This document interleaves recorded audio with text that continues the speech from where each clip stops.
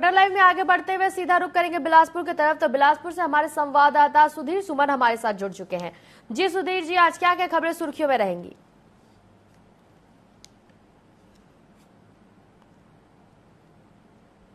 चर्चा करेंगे क्योंकि देखिए पच्चीस तारीख से नौटप्पा लगा हुआ है और आज नौटप्पा का तीसरा दिन है।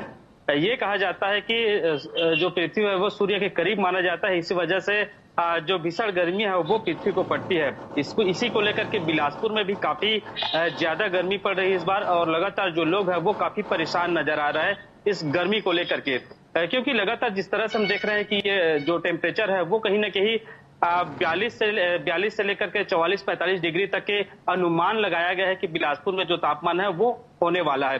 अब यह अब देखिए, जो गर्मी तो बढ़ रही है, लेकिन जो लोग हैं, वो कहीं ना कहीं ठंडे पानी हो या फिर जो स्कार्फ है, उसके माध्यम से जो लोग हैं, वो घर से बाहर निकल रहे हैं। और ज़्यादातर हम देखते हैं कि दोपहर का जो समय है, वो कहीं ना कहीं जो रोड है, वो सुने नज़र आ रहे हैं। और जो लोग हैं, काम कर, जो बाहर निकलते हैं, कुछ काम को लेकर के, वो सुबह और शाम को निकलने के ज़्यादातर निकल रहे हैं। इसी वजह है कि बिलासपुर में ज़्यादातर जो भीड़ है वो शाम के समय में देखा जा रहा है। देखिए बिलासपुर बिलासपुर पुलिस काफ़ी एक्टिव नज़र आ रही है और लगातार उनके द्वारा कार्यवाही भी की जा रही है। हम देखे हैं कि बिलासपुर ज़िले के सिपत थाना क्षेत्र के डंगनिया गाँव में एक हत्या कर दी गई थी कि अधेड़ की और हत्या करके आ, उन्हें छुपाने का प्रयास किया गया था। जो आत्महत्या होने की आ, जो आत्महत्या करने जैसे उसको आ, फ़िल्म फिल्मी स्टाइल में दर्शाने के लिए जो सब था उन्हें फांसी पर लटका दिया गया था लेकिन कुछ घंटों के बाद जो सीपत पुलिस है उन्हें सफलता हासिल मिली और कड़ी पूछताछ के बाद ये मामला जो था उनका खुलासा किया गया और इस मामले पर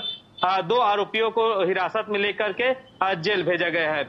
आ, बिल्कुल सिमरन देखिए डाक मतदान के द्वारा लोकसभा चुनाव का मत पत्र दिया गया था और बिलासपुर ज़िले में तकरीबन नौ हज़ार नौ सौ अड़तालीस ऐसे डाक मत पत्र आए हैं। इनकी वोटिंग भी चार जून को होना है और ये बताया जा रहा है कि जो चार जून को वोटिंग प्रक्रिया शुरू जो होंगी, उससे पहले ये जो डाक मतपत्र है ना, उनकी जो गिनती है वो शुरू की जाएँगी। तो ये जो नौ हज़ार नौ सौ अड़तालीस जो वोटिंग है, उसकी भी गिनती चार तारीख को यानी कि उसी दिन ही जो लोकसभा के प्रत्याशी है, उनका फैसला होना है।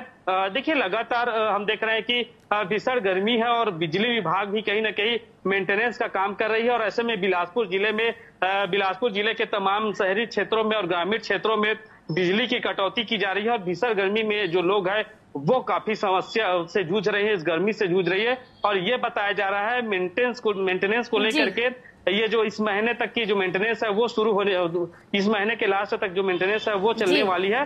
तो कुछ दिन बचे हैं जो लोग हैं उन्हें काफ़ी समस्याओं का सामना करना पड़ेगा। जी। जी सुधीर जी तमाम जानकारियों के लिए आपका धन्यवाद।